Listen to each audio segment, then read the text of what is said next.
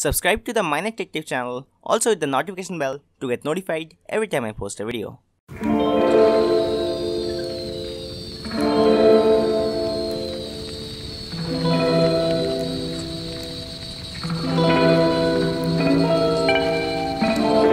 You might have seen someone sending you stickers in WhatsApp just like the messenger. And you are wondering that, no way, WhatsApp do not support stickers, right? They may be using any third-party applications to send stickers like that.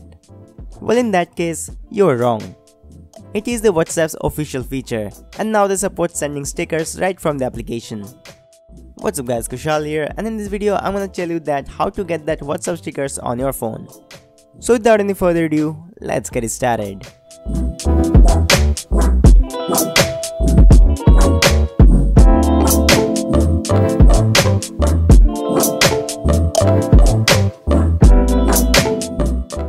So it's a pretty basic step to get the WhatsApp stickers. Well before that, you gotta make sure that you're running the latest version of the WhatsApp. If not, then get in there and update your WhatsApp first. After that, open up any conversation and then click on this emoji icon over here.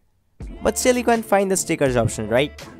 No worry, just take a closer look at it and click on this icon beside the GIF icon. And there you go, now you can see the stickers. But still if you don't see the stickers, then you can click on this plus icon and download it on your own. Once the download is complete, it will be visible here. And you can assign them as per your need. Pretty cool right? And then this will be ready to send.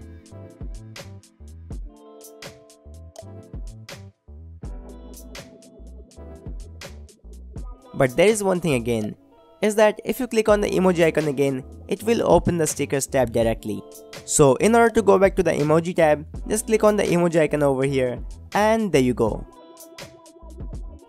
Also there will be more stickers available in future. So stay tuned for that. And that was pretty much it guys, I hope you liked this video and if you did, then drop a like, subscribe to the channel and share this video with everyone else. And I'll see you guys in the next one. And sorry for the bad audio guys, I got cold and my voice pretty much messed up. And I'll catch you guys later. Bye bye.